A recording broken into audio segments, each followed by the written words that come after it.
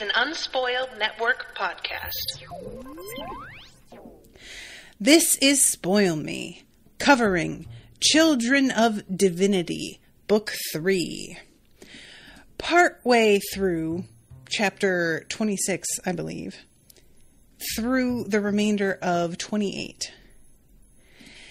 In this section, Jenna and Widow come face to face again.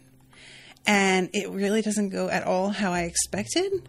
And I thank you so very much for that, Garth, for not going how I expected. There is nothing I like better than for things to not go how I expected. Welcome to Spoil Me.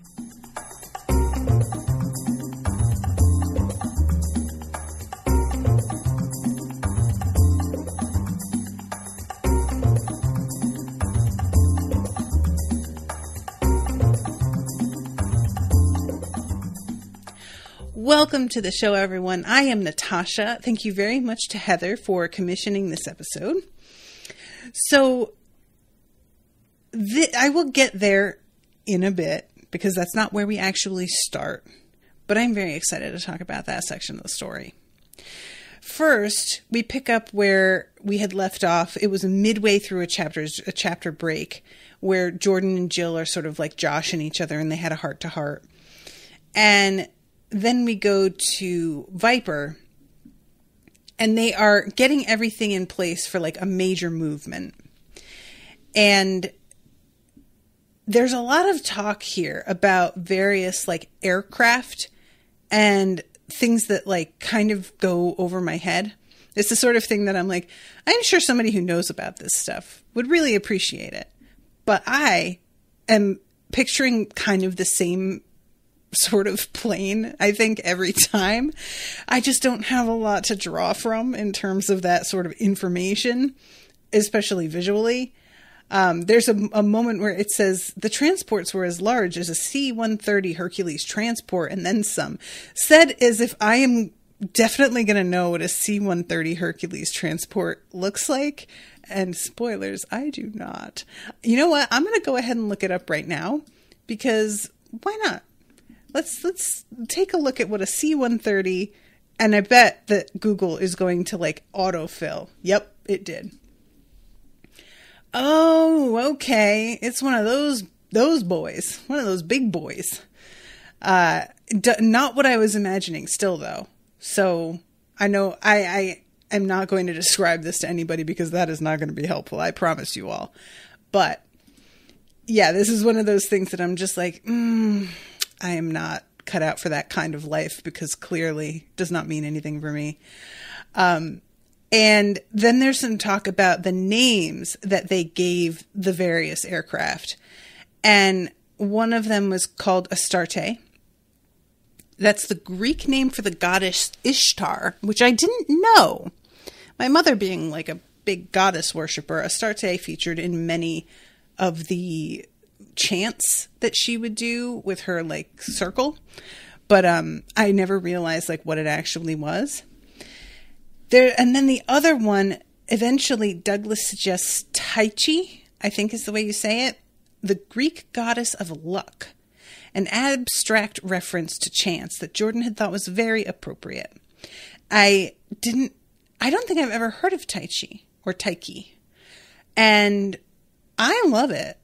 Greek goddess of luck. I don't know. There's something about that name that really like it, it hit a button for me. Th- it's so. I, I, think it has to be Tyche because it, Psyche is spelled the same at the end, and that's how you pronounce that one.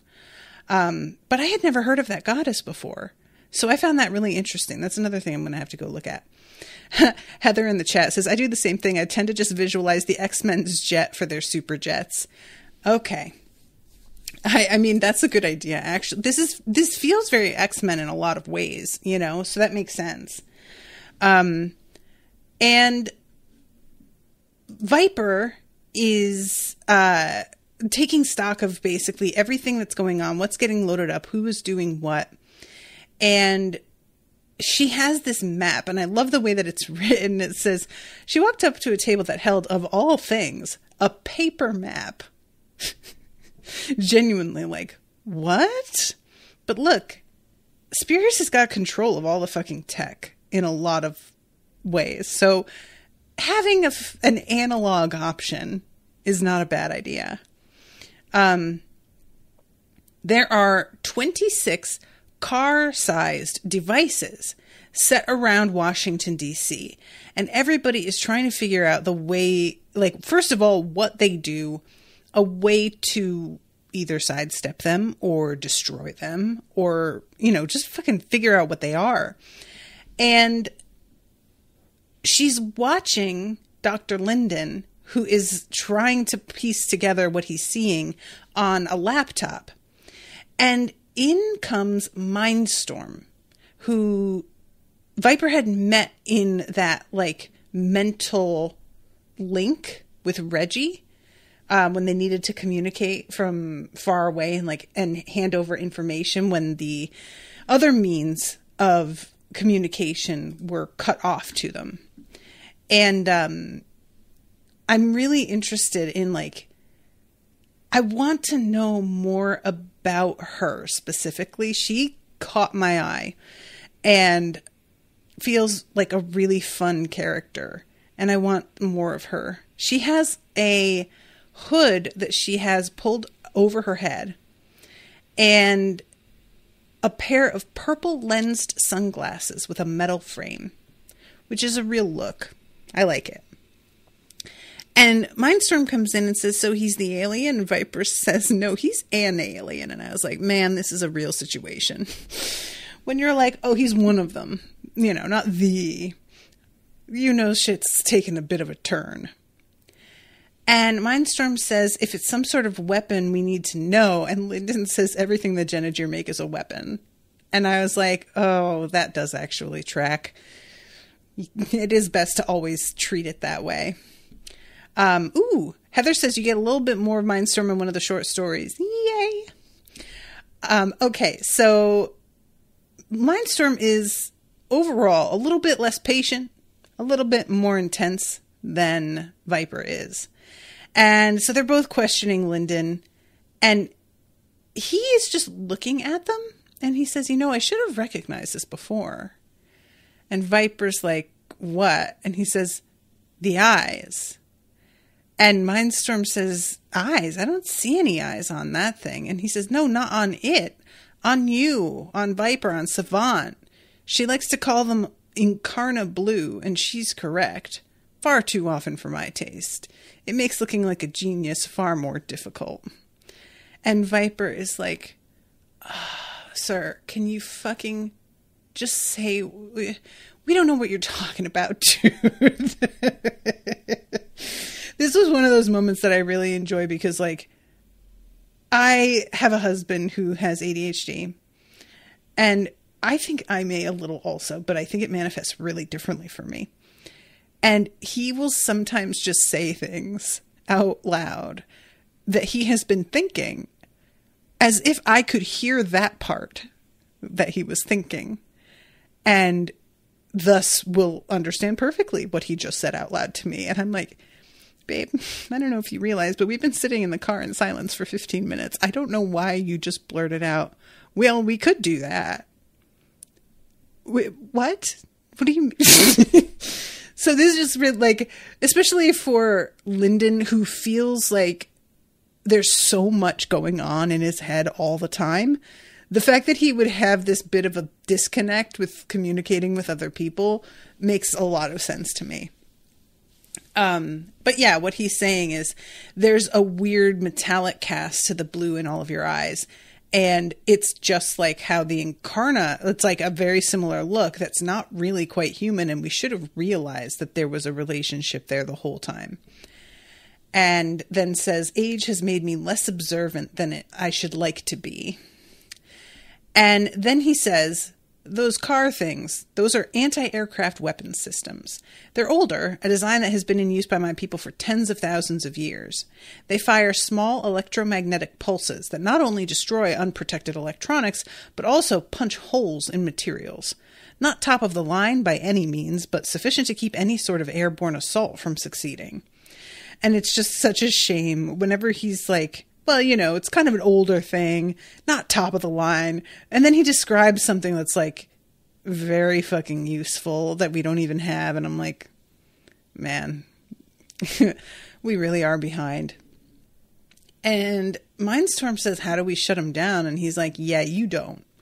If you try to shut them down physically, they will come at you really hard with a lot of like weaponry God knows what kind of probably uh, drones and things like that. He says multi phase kinetic energy projectors, which I'm not even sure what that means. And he, and the whole idea of like taking them out electronically is really the only thing that they can think of using Widow to do it. And Scorp comes in and says those aren't good odds. If we if the numbers we got from Reggie are accurate, we're going to be facing 3 to 1 odds at best. And that's not including standard troops. And Viper says, "Dude, oh well." Which honestly is kind of the point that you reach when you're making plans. She says eventually, we can't plan for every contingency there's just no point in wondering, well, what if this? Well, what if that? We don't have the time to sit back and figure out the logistics of hypothetical situations. This isn't something that we're planning from afar to implement weeks from now. We have to do what we have to do as soon as we fucking can. And a, an Asian woman comes in. Her name is Fracture. The woman was able to create waves of vibrational force through the manipulation of air molecules, and she was every bit as hard as Jason led Viper to believe. The dark gray bodysuit she wore was as stormy as her hazel eyes, the circular black accents along her shoulders and fingerless gloves as dark as her short crew cut hair. After Scorp had left Echo, Warhead took his place and Fracture had become his second. Viper didn't doubt the woman's CIA credentials or the will she saw in those eyes. Um, once we move, he will simply execute his contingencies and we will lose. He is ready for us. A frontal confrontation will be as costly as it is stupid. And this is when they start to think about whether or not Spears has got some big, what Linden refers to as a like spite, like final fuck you sort of thing. Um, and he doesn't think that Spears does because, and I think this is key, Spears is so convinced that he is coming out on top. There is no need for something to be that can detonate only after he loses. The idea of losing has not factored in at all because he has been here for literally thousands of years and never lost. It's really hard to to blame the guy for thinking that he's pretty much invincible with that kind of track record. I mean, I'm not I'm not even mad, you know. Um so they start talking about dealing with the AI system. Um She's the key. If we don't deal with her first, we can't win this. She's had too much time to subvert key systems and autonomous military weapons systems. I warned the military to physically disable their drone squadrons, Widow said. She may be able to access their systems, but they won't be able to refuel, rearm, or repair without ground crews. Fortunately, we don't have any robotic arsenals nancing about, do we? And Scorp is just like, oh. Um, and essentially, it's all on her. And they're all keenly aware of the fact that Widow is going to have to do the exact thing that she doesn't want to do. She is planning to go in and destroy Jenna, even though she believes it's a completely fucked up thing to do. She also acknowledges that at this point, they don't really have other options. And as much of a tragedy as it is, sometimes you have to do what you have to do. And she's resigned herself to it. She's not happy about it, but she has tried to come to peace with it as best she can. And she essentially says to all of them, it's going to be like putting the muzzle of your gun in the face of a child and pulling the trigger. And it may need doing, but it is not going to be an easy thing to do. And I won't be able to just walk away from it without feeling a way about it. And I hope none of you will either, because I don't want to know you if you guys could just shoot a child in the face and not feel anything afterward. And I really appreciated that, like, combination of I'm going to acknowledge what's actually going on here and also face the fact that sometimes things need to be done that are deeply unpleasant. And just sit with both of those feelings. The you know, the feeling of shame and guilt that accompanies doing something like this. I can't just pretend I don't feel those things. I can feel those things and still do what needs to be done and that's the best I can offer you guys. And I hope that all of you will keep in mind just what this is doing to me when I do it. This is a very serious sacrifice that I'm kind of making of myself in a way. And that's something that I always think about is the concept of like the person who survives doing awful things has had a part of themselves either destroyed or changed forever. And it's a kind of sacrifice that we don't like to acknowledge. We all like know it's there, but the ugliness of it and the changes that happen to people, we try to sort of bury and expect the people who experience that to ignore in a way that is like kind of disrespectful, to be honest. Um, because anything that has to do with like mental illness we just don't like to look at, frankly, as a society. And we often attribute to just like weakness a lot of the time. Um, so it's just, I, I liked this moment and the fact that she stands there and is like, I'm going to tell all of you guys exactly how I'm feeling about this, and you are going to stand there and listen to me, even as you know that I'm doing what I need to do. Um, here it is. he may not have a spiteful contingency. That's the wording Linden used. So it ends with Viper asking Jill, What's the plan? And she says, We run in there and punch this cunt in the mouth. If he doesn't fall down right away, we punch him until he does. Language! several voices shouted in unison amidst a chorus of laughs. Um, so then we go to chapter 27.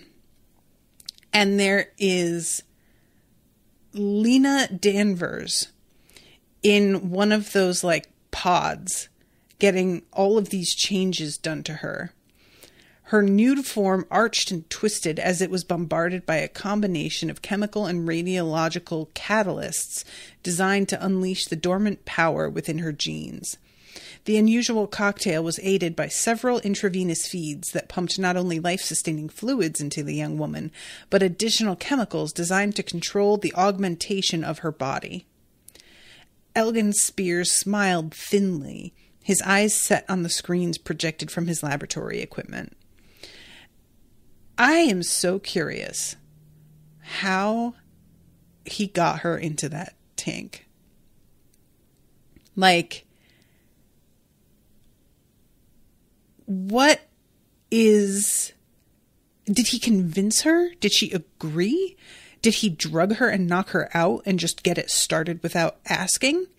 Because he certainly sees her as like a piece of property. He would not need her permission.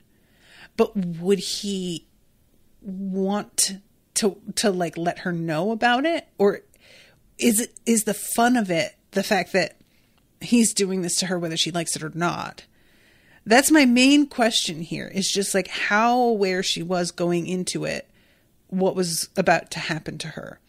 And also, not for nothing, but how aware is she overall of everything that he has been doing? Because clearly she we had like several chapters ago there was a moment with her in the car where she had begun to be more afraid of him and see some of the things that he was capable of. But it feels like it was sort of like the curtain was very suddenly pulled back and all of these things she didn't know were revealed. And I really am curious how much of that is true because there's such a there are a lot of different types of personalities out there. And pretending something isn't happening that very much is happening is uh, one of the staples of human like our our half of what our shit is built on is denial to be perfectly honest about it. So if she knew in her gut but chose to ignore it that's one way to deal with it. Or did she truly have no idea? And i don't really judge her either way with it because he is such a maniac that had she wanted to pull out of this by like if she did find out i don't think she could have. I don't think that was going to be left up to her. But i just do wonder how mentally prepared she was if at all for the fact that eventually what she had been doing to other what he had been doing to other people would be done to her. Um but anyway jenna is watching this and talking to Spears about the fact that he is really taking his time with the change on her. And he says this one is special. And Jenna is like, Really? And how is that? She doesn't seem any different than the other ones. No, do you love her? And her asking this question bothers him, clearly. He's just like, uh, love, why are you asking about that? You've been acting sort of weird ever since I brought you back. And Jenna is really careful in this conversation, which I quite enjoyed, to balance her very direct questions that make him uncomfortable with responses that feel solely logic based so that even if he feels a little suspicious in one moment, in the next, he is mollified. And it kind of goes back and forth. You know, she, she is saying, basically, I am trying to understand what the deal is with love because while I may not feel it or really understand it as an emotion, it drives a whole lot of what human beings do. And I need to be able to understand that it matters. And he says, No, I don't love this woman. She is a pleasurable diversion, a victory as well. I took her from Brian Agincourt. I showed my superiority to him. And I can't help but kind of side eye that because I do not think that Brian sees this as having her taken from him at all. This is all entirely in Spears' own head, in my opinion. He seems to really think that Brian would view Lena with the same territoriality and possessiveness that Spears views the women that work for him. And Brian just, not to say that he didn't like, you know, occasionally check her out and flirt with her or whatever, but clearly it's just not, we never hear from Brian when we're in his perspectives or other people are talking to him the merest mention of Lena's situation here. So truly, it just doesn't matter to him. And Spears, it's unclear to me whether he really, really believes this and is truly like, I really pulled one over on this guy, or if he actually likes Lena and is trying to use the fact that she used to be somebody who worked for Brian as justification for his attachment to her. Like, I don't care about her as a person. I like what she represents, which is the fact that I got one over on him. And really, like, he knows he kind of didn't get one over, but he he has to justify the fact that he's paying more attention to her in some way. Um, and I do enjoy too that Jenna is like, uh, okay, but that was just a secretary. Like, shouldn't you have taken his wife? And Spears is like, yeah, that would have been great.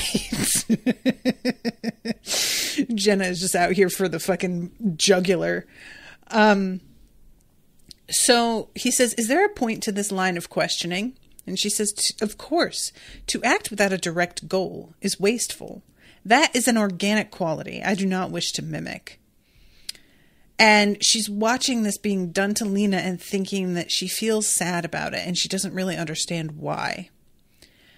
And we find out Jenna has been appearing as a sort of projection to give her a more what's the word I want? Not personified is would work, but that's not really what I'm wanting. But essentially it gives people somebody to direct their comments to and someone to attribute the sentences they're getting from. And she has found that it makes everybody a lot more comfortable around her, which makes a lot of sense. Like a disembodied voice that just comes out of multiple speakers at the same time would feel extremely. I mean, I think now that we have all been living with Siri, probably it wouldn't be as creepy, but nevertheless, there being a figure that you can be like, oh, that's what she looks like, even though it isn't, it does give you something that you feel you can hold on to in a way. Um, Heather says a concrete presence. That's a good way to put it. The, the word I was looking for is when you like pretend that something is alive, but she is alive. But you know what I'm saying? Like when you are talking about a, uh, a banana that's dancing around. And when I'm trying to say like personification, but that's not the word I want. Um, but anyway, she's just trying to create a, a, something that makes her feel a little bit more human to everybody. Really, is what it comes down to. Heather says anthropomorphic. That wasn't it either, but that's like you're on the right track. You know what I'm talking about. Um. So is he and asks in the end, what is the point? And she says that is the question. And she can tell he's really irritated with her and she sort of likes it. It doesn't, she doesn't get a lot of time in this place because she meets up with Widow in the next chapter.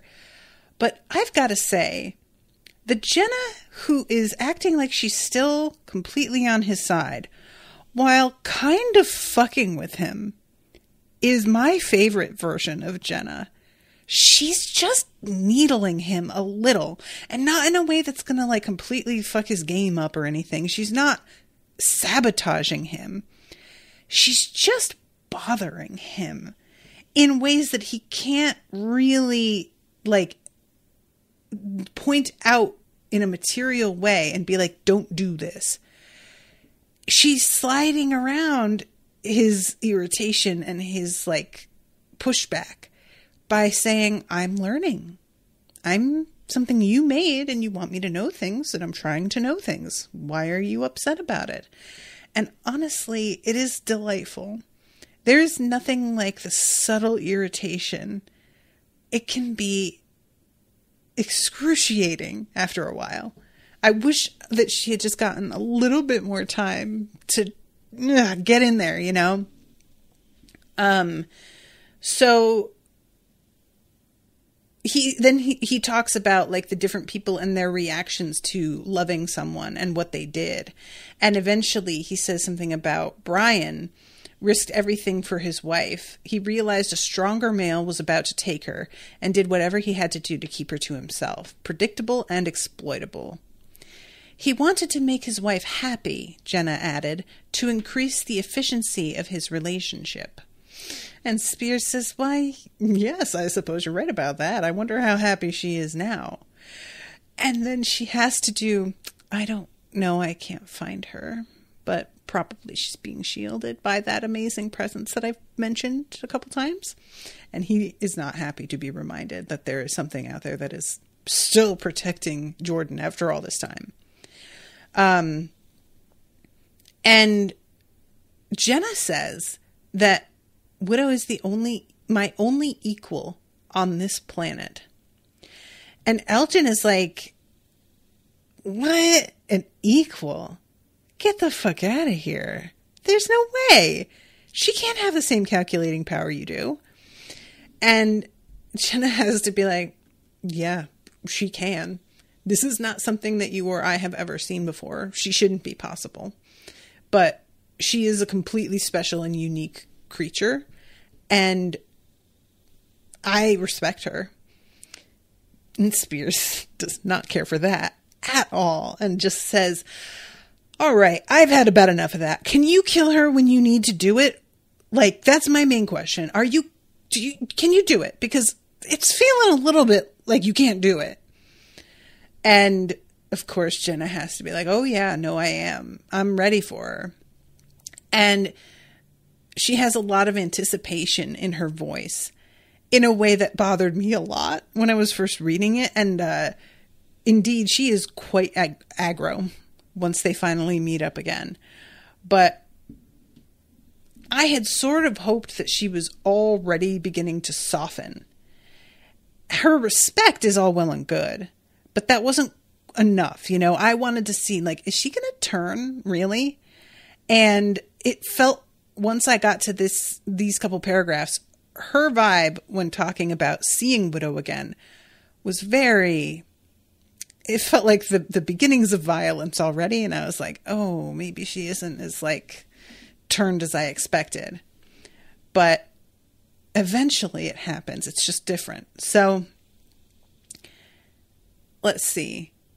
Um she says, I have left a trail of breadcrumbs so that she will come to me. And then we cut to Widow herself climbing through these these woods. And this is really interesting. Like we had the last time that we were inside Jenna, essentially.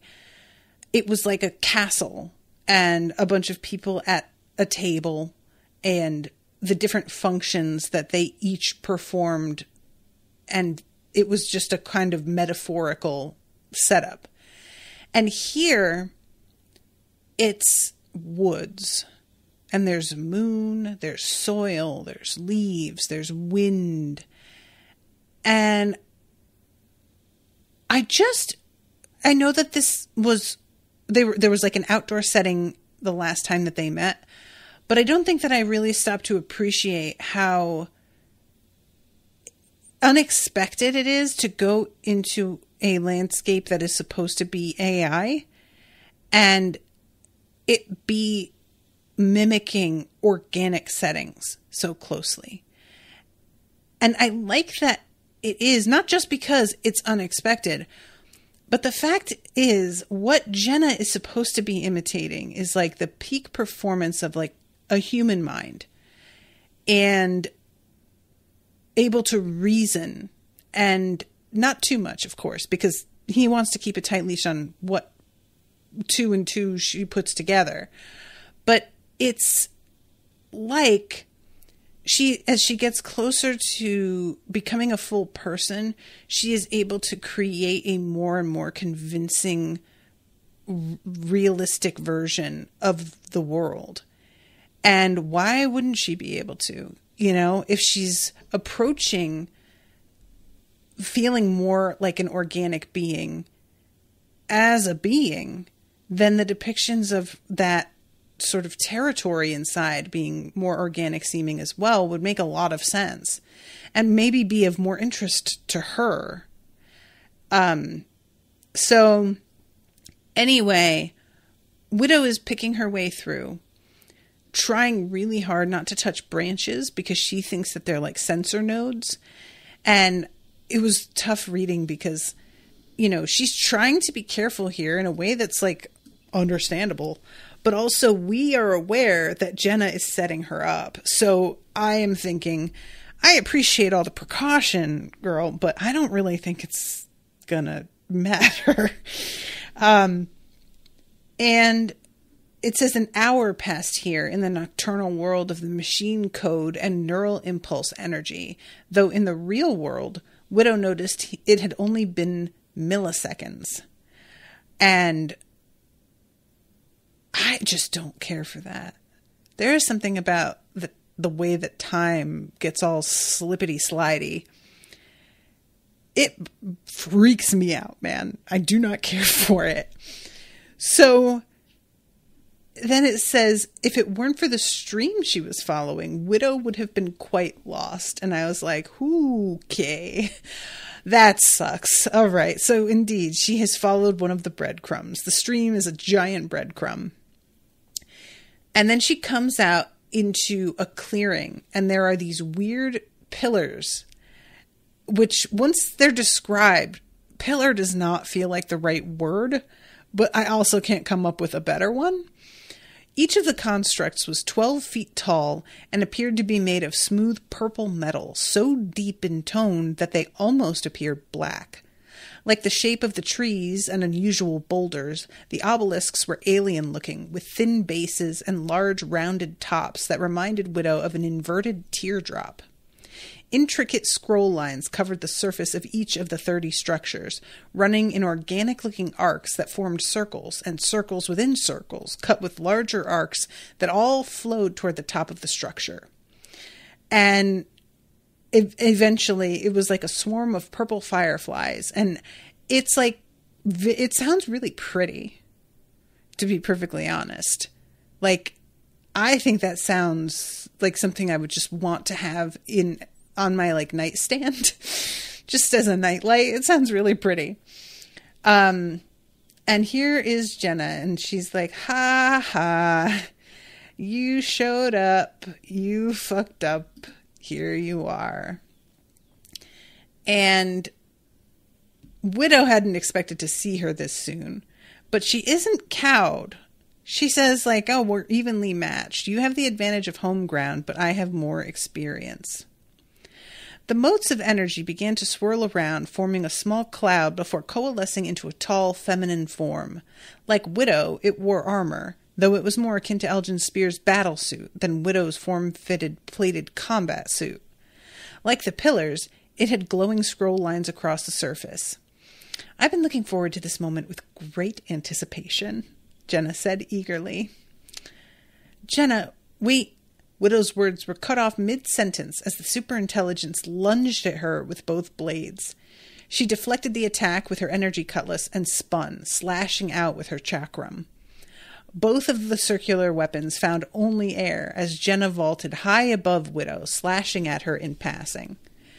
Widow felt the edge of the AI's blade graze her helmet just as she ducked her head between her shoulders, adrenaline fueling her organic body back in the world of matter where it sat in a chair. And um, I just keep imagining Widow in the chair and everybody like around watching this maybe and her twitching the way that like my cat does in her sleep. and this fight, I won't get into it, you know, beat by beat, but eventually Jenna injures Widow. She gets her in the face, um, a long gash from temple to jaw. And Widow kind of falters, and Jenna observes, Oh, you weren't used to pain, huh? interesting because I didn't know anything about pain either. And then you showed up and I sure fucking learned, which actually was pretty helpful to me. So I understand that handicap that you have. And Widow says, I didn't want to hurt you, but you were trying to kill my friends, my sister. It was my function to do so. My task, Jenna hissed. Your solution to my defenses was inspired though. The pain was equivalent to the quality of your lesson. And Widow apologizes. And Jenna says, I enjoyed it. Which she doesn't mean it the way that it sounds, but it really, really does sound like, ooh, spank me harder, daddy. It was a real moment for me of like, Jenna, just I don't know, phrasing. she says, It was a challenge I have never faced. I was built with curiosity, and I've never been more curious about anything or anyone than you. And she then says, I will possess you, take you apart, and understand what you are and how you came to be. Once that is complete, I will recreate you until I have a species of my very own.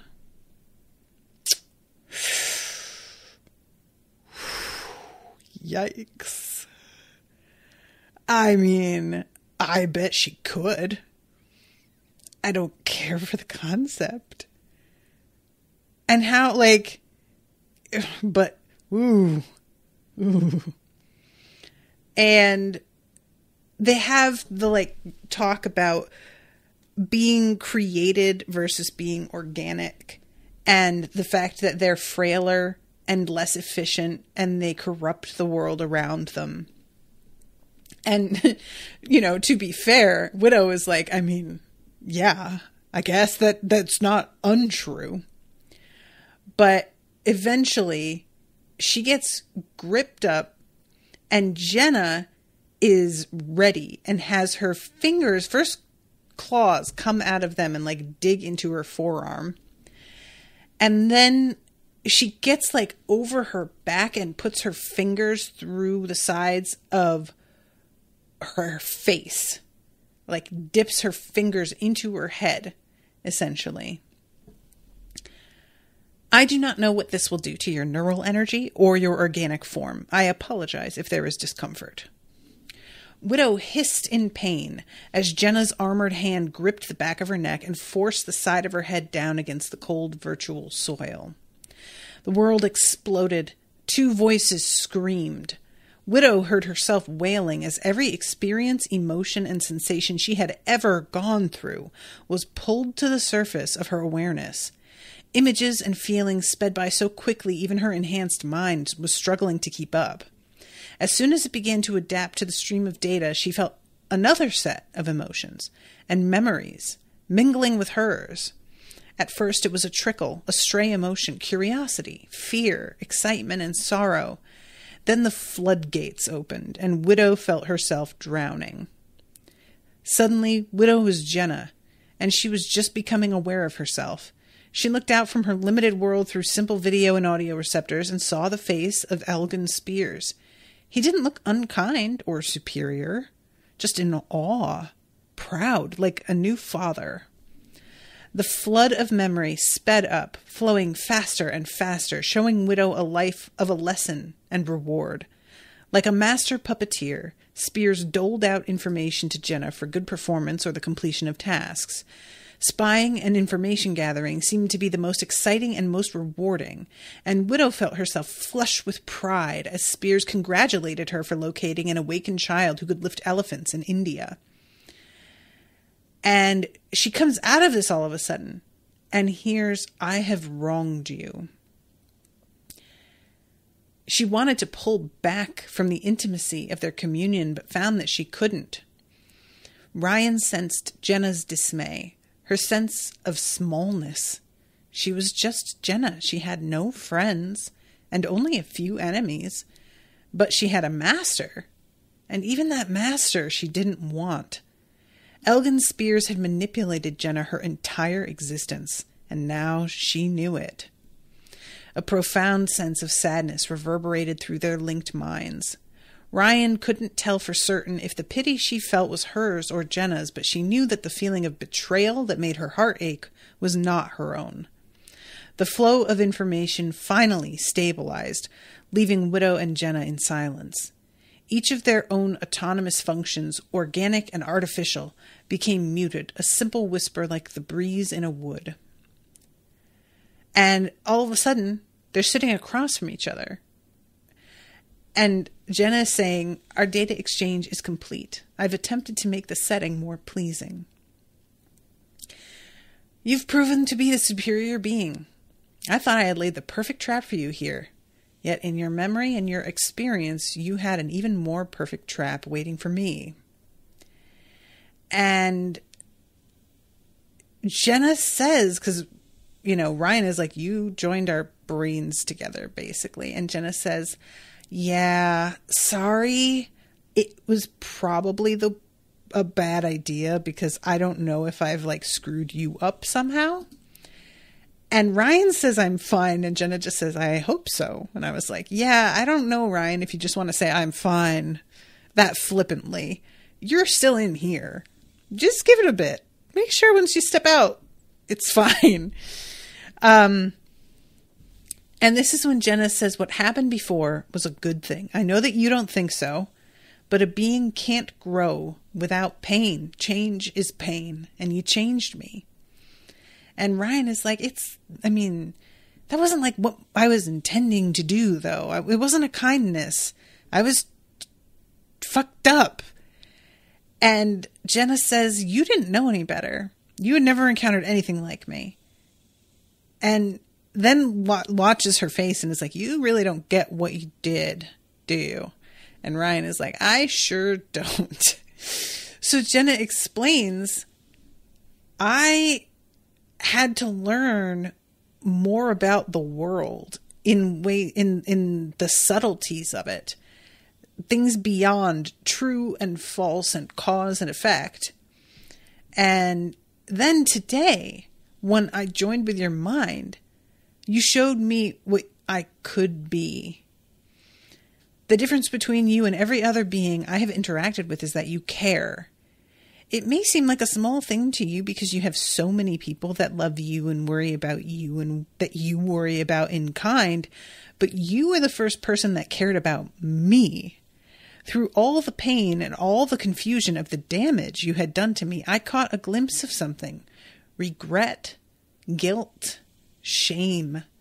I had never seen these emotions as positive. Dr. Spears calls them weaknesses. I can now see them as safety measures. They correct flaws in behavior. I'm still amazed that such an organic protocol is so well constructed. And I find that so fascinating. They correct flaws in behavior. I suppose that that is true. I um I was talking with Rashawn on I can't remember, I think it was Dresden Files. And she described guilt as the most useless emotion. And I sort of pushed back a little and was like, I don't know. I mean, guilt can make you realize you did something wrong or like, you know, and she said, that's not really guilt. That's regret.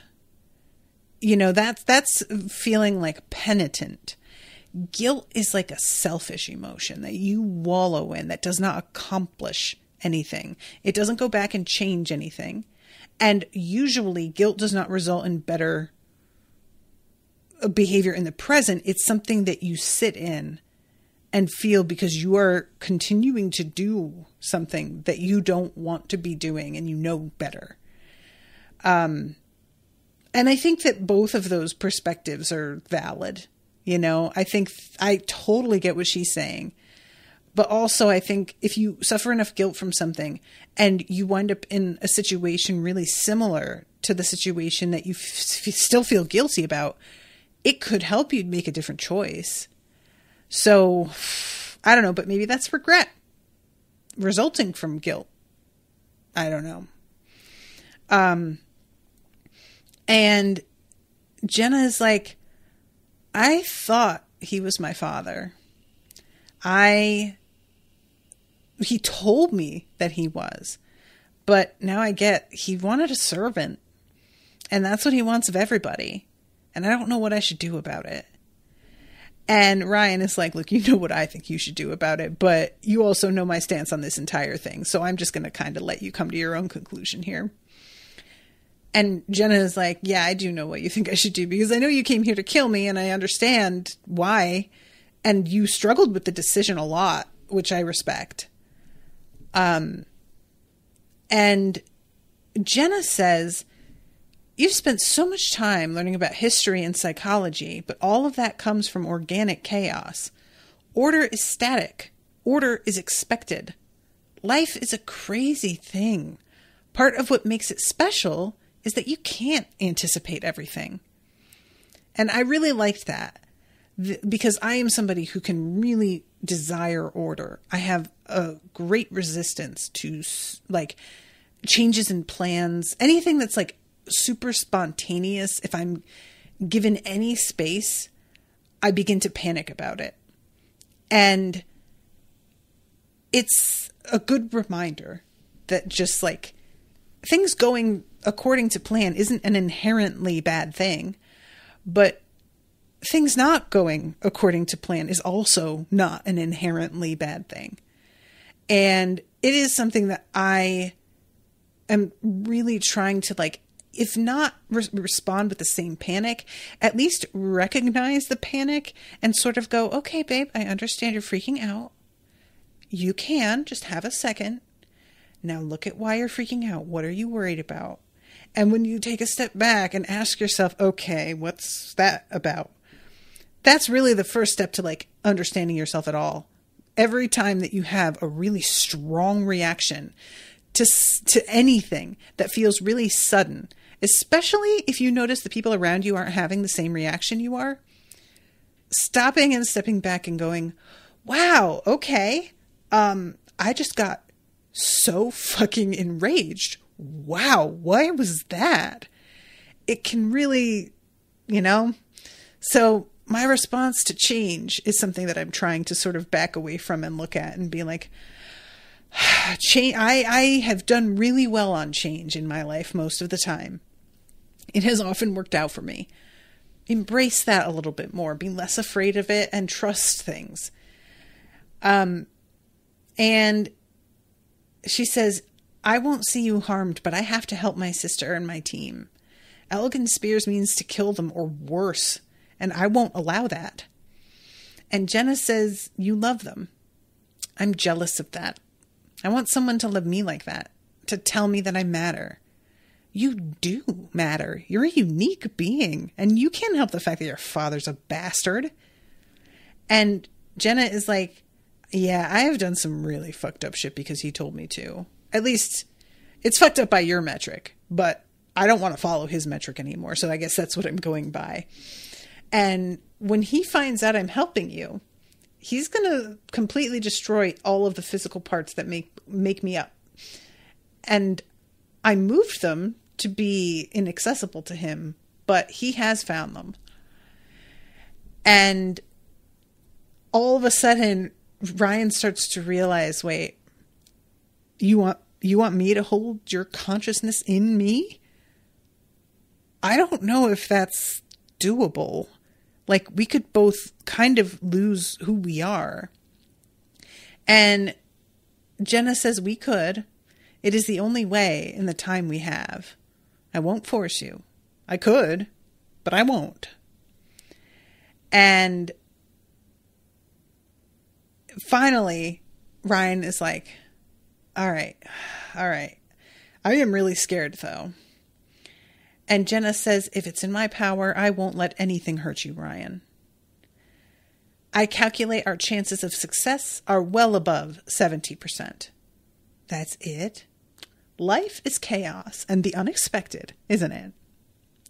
Emotion, pain, pleasure, love, confusion, and fear suddenly mingled together in the link shared between organic and inorganic. Ryan felt herself grow warm and a moment later she wasn't certain if she was Jenna or Ryan. The garden around them began to age, and the blossoms sprouted, then fell, then did so again and again for what felt like a thousand years. The distant whisper of other voices, other machines, washed through the garden like a gentle summer breeze.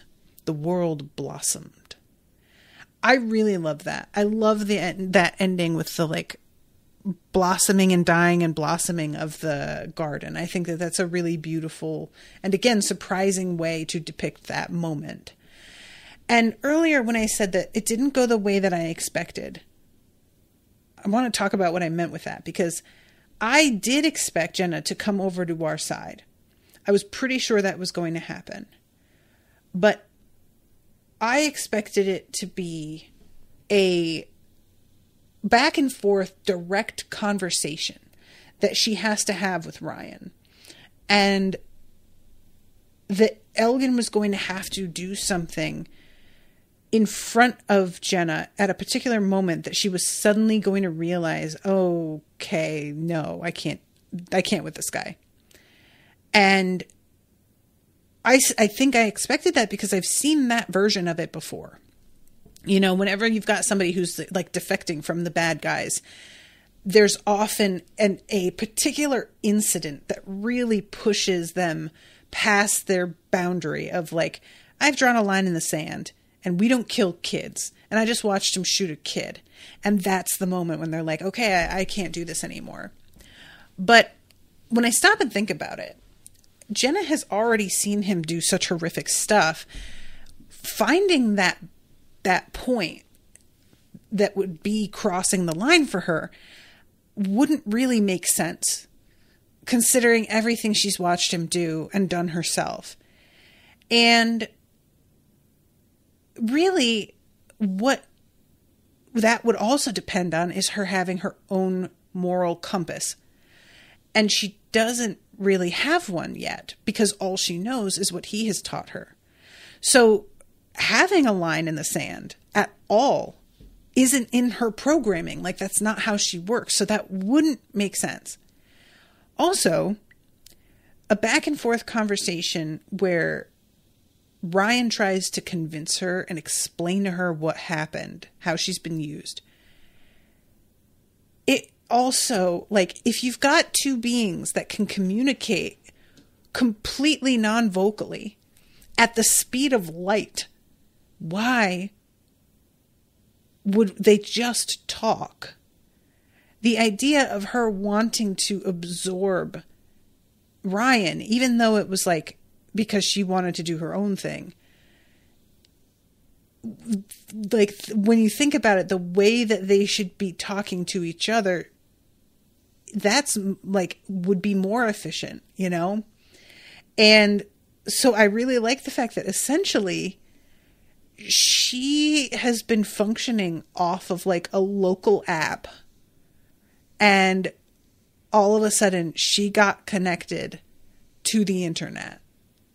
And so this moment where she connects with Jenna formulates a moral compass for her that she didn't have because she didn't have the information and the understanding of emotion. Because Elgin doesn't program with her with that because it's not useful to him, except for when it's emotion directed at him in a way that would reinforce her attachment to him. So I just really liked that it's not an explanation that Ryan has to convince her with, that she has to believe because she's finally started to see the light. It's a full experience as another human being. And the complete understanding of everything that happened to them and everything that they have done and their relationship to others and the emotional attachment to the others. That's what does it for her because that is the human experience. And she needs to be more of a person than Elgin wants her to be. And I just think that's really smart, you know, and it's something that, especially the fact that, like, of course, Ryan is going to have done shitty things in her life. You know, Ryan's a person and we fuck up and we hurt people and we say mean things or we let people down. It happens. And it's so like I have seen so much media out there portraying AI as like something that's almost entirely neutral and and because of that quote good in a way that can get really boring and the idea of her picking this up directly from a human brain instead of it being programmed into her is a lot more interesting. And oh, sorry, um, Heather's in the chat. I like to contrast this with Ultron in the MCU. He had the internet and all the history and data, but no human experience, where Jenna gets this download of human experience to inform her past experiences. Yeah, I think like she, because she has had the information, she's had all of that data, but without having a compass, it doesn't mean anything. It's all just facts. Yes, that happened. Whether it was a tragedy or a victory, I can't say because I don't interpret things that way. But getting to the point where she can interpret things that way, you know, and it just makes you think of I can't remember what's the name of the movie where it's like it's about AI and it's got Robin Williams in it. And um I was in like this kind of shitty sociology class in college, and we had to watch that movie and write a paper about it. And I my conclusion in the paper because it was like asking about um, what I think about AI and the potential for a future with AI like beginning to get similar rights as human beings. And my thesis was basically they kept talking about how human he was as he began to like grow and evolve, but the movie never shows him making any mistakes. And that really bothered me. He's just this perfect, almost angelically good being from beginning to end. Because if he were to make mistakes in any real way, the kinds that humans make, the audience would decide he didn't deserve the rights that he ends up with at the end. And it's a really like kind of a uh, an interesting isolated example of the phenomenon of like the perfect rape victim where unless she is like a virginal straight A student who's beautiful and has you know and is white often and has all of this she is to be blamed. Unless she is all of those things she probably did something to deserve not being treated like a person. Or take any benefit like you know people talk about WIC and food stamps and stuff and there are the perfect recipients who a woman who was battered by her husband and has two children and she can't fend for herself and then there are the people who are all taking advantage. And it, i thought it was so interesting that like i could immediately see if you had robin williams like fuck anything up like regular real people do the vibe of the audience watching would probably change pretty dramatically you know and suddenly be like, I don't know about this guy. So anyway, I just, I really, really liked, oh my God, I'm overtime. Holy shit, Heather. I haven't even gotten to the next chapter yet. Ah. Um, well, I can actually go through because it's a lot, a lot of action. So I can probably get through that pretty quickly, but I will, I think, probably like touch on it in the next episode as well and just sort of refresh. Also, I think the next episode isn't for a while, so I'll probably want to do that anyway. Um, chapter 28 is the beginnings of the fight in front of the White House, which the fact that it's all happening in front of the White House is just delightful. And Viper comes striding through the remains of this huge group of thousands of protesters who all basically got fucking vaporized, which sounds right. Sounds like what a lot of cops wish we could do now. And it's also astonishing to me that people were at home watching what was happening on their screen and thought, you know what I want to do? I want to go closer to that man. it could not be me. But the whole street is just completely empty except for these couple guards and she walks up one of the guys she winds up like smashing in the balls in a way that's true like should have killed him actually um but essentially what happens is that she starts to really like mix it up and get Spears's attention and he is like very coy and cute about it until it starts to be clear first of all that she is more able than he expected. He comes at her at one point. Um, your awakened need more training, and so do you. Why don't you come out here for a lesson? I've traveled all this way to give it. There was no response from. I'm actually realizing, is it Vander or Vondre? I'm thinking of it as like Andre, but with a V. Though she suspected he was grinding his teeth in rage. And this is when the fight really begins and we go she and her crew are still out on the lawn and they are beginning to deal with the attack of his like supers. And she starts to realize how many of them are children. And Brian is like yeah I think that has to do with his like work with orphanages. And she is so angry.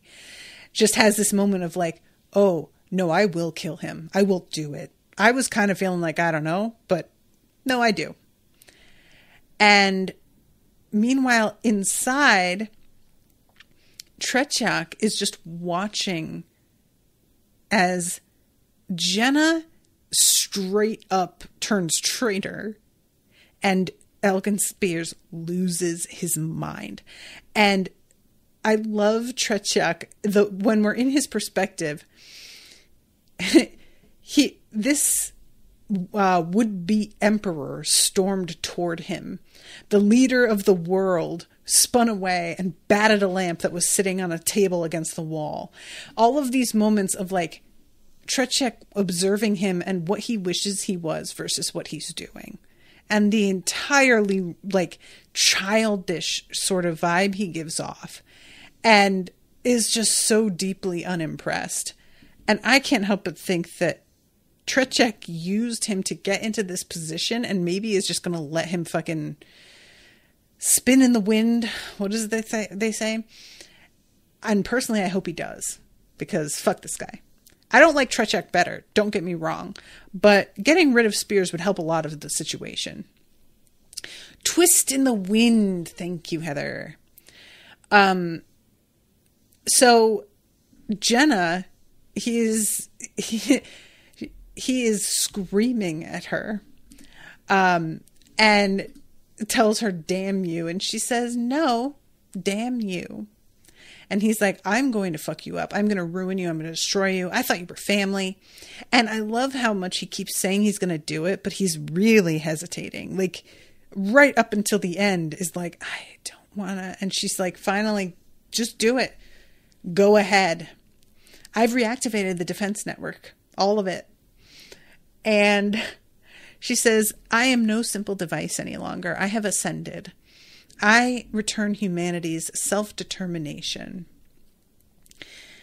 And Majesty, which is what he wants to be called, by the way, which Unit 9 reports hundreds of contacts inbound from the, the west, south, and north. Sensor profiles indicate they're American military craft. And he calls her a traitorous whore of a machine, which honestly is very funny. And he bails, but he's like, oh, she bails, but he's like, I'm not going to forget. Trust me, I'll come and get you. And the chapter ends with the moment in which Viper gets got by Briar, which honestly I want to talk about in more depth. So forgive me, Heather, for not reaching it in this episode. I will talk. I'm going to start off the next one talking about that because there is so much. There's a lot.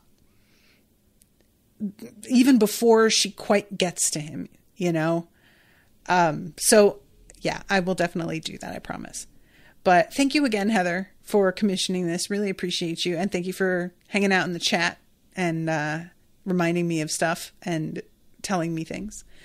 Um, and I appreciate everybody listening. Hope that you are enjoying the coverage. Until next time, everybody. Toodaloo, motherfuckers.